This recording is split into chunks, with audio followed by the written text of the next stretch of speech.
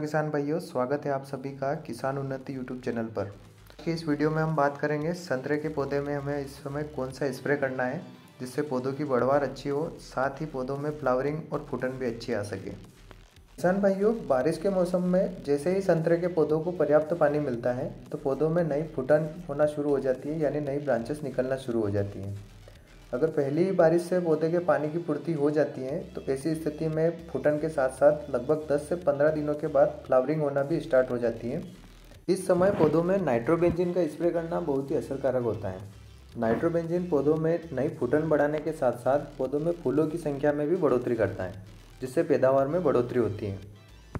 इसके लिए आप बूमर गोल्ड बूम फ्लावर और नाइट्रोफिक्स में से किसी एक दवाई की प्रति एक लीटर पानी में दो एमएल मात्रा को मिलाकर पौधों के ऊपर स्प्रे कर सकते हैं। इसके साथ साथ बोरान का स्प्रे भी आपको पौधों के ऊपर करना है। बोरान फूलों को गिरने से रोकने का काम करता है और साथ ही अगर पौधों के ऊपर अंबिया बहार के फल लगे हुए हैं तो उन्हें फटने से रोकने में भी बोरान तत्व बहुत ही सहायक है। साथ साथ ही किसी अच्छी कंपनी के माइक्रोन्यूट्रेंस का स्प्रे भी आपको इसी समय करना चाहिए, ताकि पौधों में पोषक तत्वों की कमी की पूर्ति हो जाए और पौधों की अच्छी बढ़वार के साथ साथ लगने वाले फलों की क्वालिटी भी मेंटेन हो सके। इसके लिए मार्केट में बहुत सारी कंपनियों के माइक्रोन्यूट्रेंस अवेलेबल हैं। अगर आप सी वीड बेस यानी कि समुद्री शैवाल से बनने वाले माइक्रोन्यूट्रेंस का स्प्रे करना चाहें तो बायोविटा या सागरिका में से किसी एक प्रोडक्ट का इस्तेमाल भी कर सकते हैं। इनका भी बहुत ही अच्छा रिज़ल्ट देखने को मिलता है। इसके अलावा, अगर जड़ के द्वारा आपको पौधों को खाद देना है तो डीएपी का इस्तेमाल कर सकते हैं या एन पी के अट्ठारह अट्ठारह या उन्नीस उन्नीस भी आप दे सकते हैं। इसका अगर आप स्प्रे भी करना चाहें तो वह भी आप पौधों के ऊपर कर सकते हैं।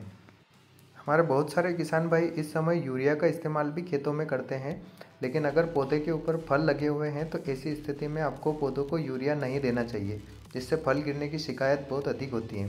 इसलिए यूरिया का इस्तेमाल इस समय आप जड़ के द्वारा न करें तो अच्छा रहेगा। दोस्तों, इस वीडियो में जो माइक्रोन्यूट्रेंट्स और दवाइयाँ बताई गई हैं, उनको एक साथ मिलाकर भी आप पौधों के ऊपर स्प्रे कर सकते हैं। यह स्प्रे करने के बाद बहुत ही अच्छा रिज़ल्ट आपको बगीचे में देखने को मिलेगा। पौधों की बढ़वार अच्छी होगी, साथ ही पौधों में लगने वाले फूलों और फलों की संख्या में भी बढ़ोतरी होगी। अच्छी फ्लावरिंग और फूटन होने के बाद पौधों में किन प्रकार के रोग एवं कीटों का प्रकोप हो सकता है और उनसे हम रोकथाम किस प्रकार से कर सकते हैं, उसके बारे में हम अगले वीडियो में बात करेंगे।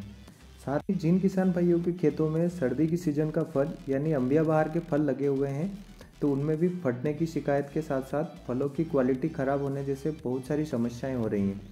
तो उन तो इन समस्याओं के समाधान के बारे में भी हम अगले वीडियो में बात करेंगे।